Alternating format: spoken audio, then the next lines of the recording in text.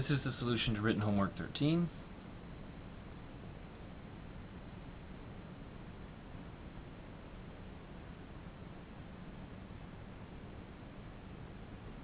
Okay, so let's, for solving part A,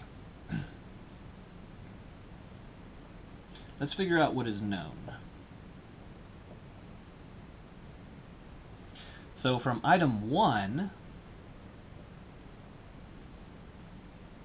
from item 1, the, the math that we're given is that the derivative is 1326 e to kt, where, where k is constant but unknown. Okay.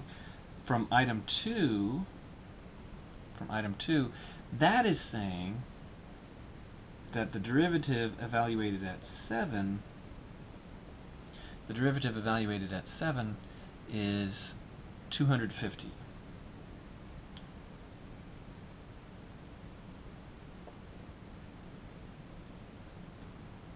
And item 3, item 3 is saying that the initial population, that is to say, not the derivative, but the population, uh, b of t at t equal to 0 is 2017, which is to say b at 0 is 2017. So those are the three things that we know. Okay, so the first thing to do is we're going to use uh, 1 and 2 to determine k.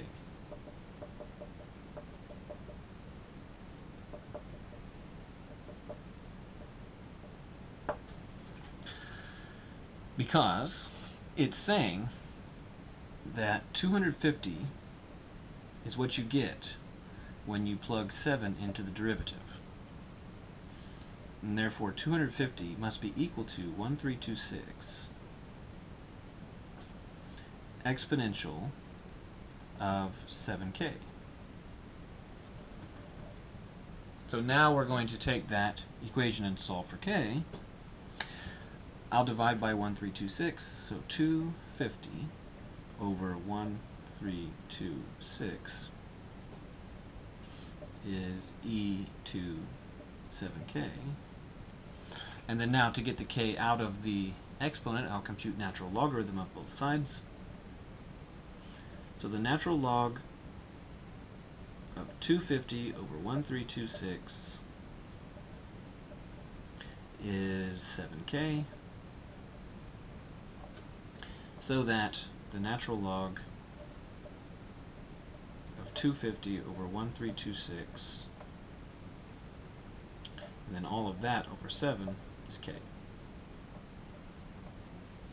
And then we could numerically approximate that with the calculator.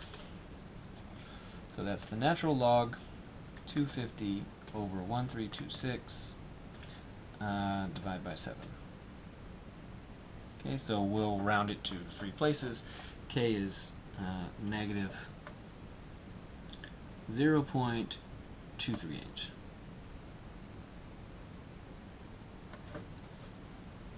Okay, so as a result of that,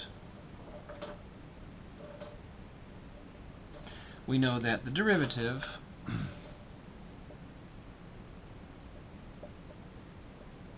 is 1326 uh, exponential of negative 0.238 t. Okay, so that's the that's the derivative. Uh, we can get the original function b of t by anti-differentiating the derivative. so we'll anti-differentiate uh, the derivative there. Okay, so that would be the antiderivative of 1326 exponential of negative 0.238 t dt, well, that is going to be 1326 and then exponential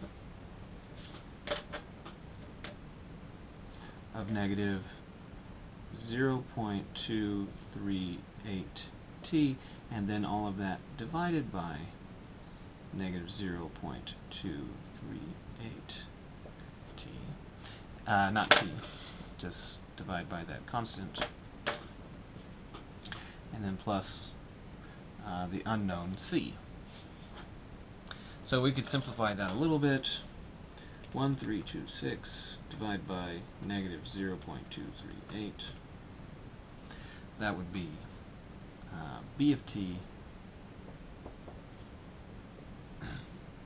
is negative 5,571 uh, point four three. Uh, exponential negative 0.238 t plus an unknown constant. Okay, so now we almost know uh, b, but what we don't know yet, what we don't know yet is the value of c. So now we're going to determine c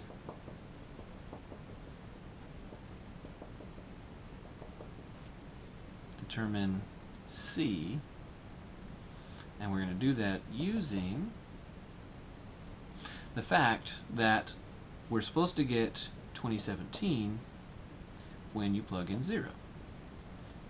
Uh, when you plug in 0. Okay, so 2017, plug in 0 there.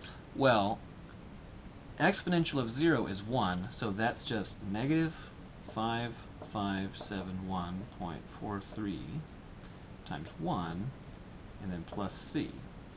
So we can add that number to both sides. So negative 5571.43, and then uh, we're going to add that to 2017. So that is 7588. Point four three is C. And as a result,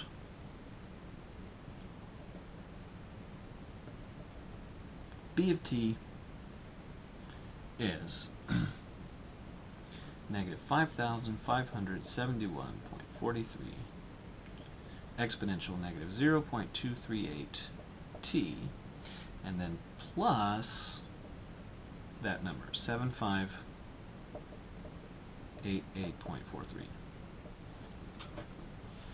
Okay, so that's the answer to part A. For part B, for part B, the answer is that uh, it's increasing.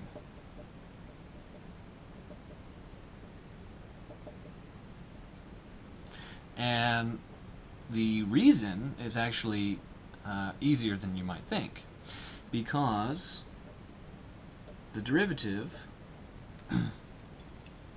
uh, we established at the top there is 1326 multiplied by exponential of negative 0.238 t and that is always positive.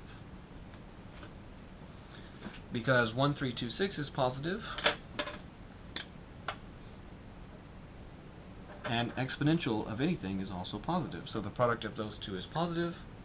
The derivative is always positive. Therefore, it's increasing.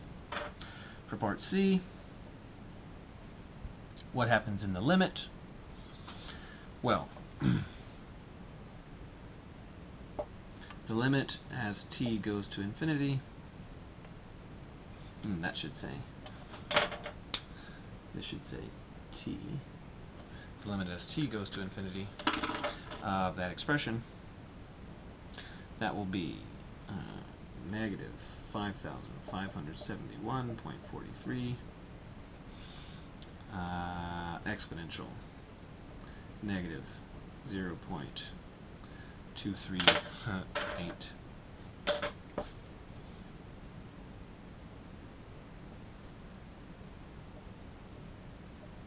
t and then add 7588.43 well this number is constant. So its limit is itself. Whereas this this uh, term is going to go to zero. So this term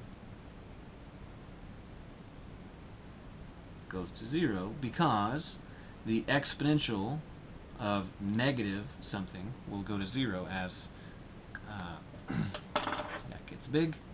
And so the answer is just 7588.43. So the way to interpret this, this is saying that the number of bacteria as time gets large is going to stabilize uh, at that value. So therefore, the number of bacteria stabilizes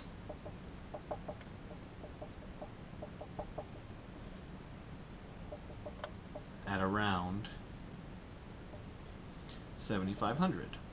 So that means that it's the bacteria have reached equilibrium with uh, their environment.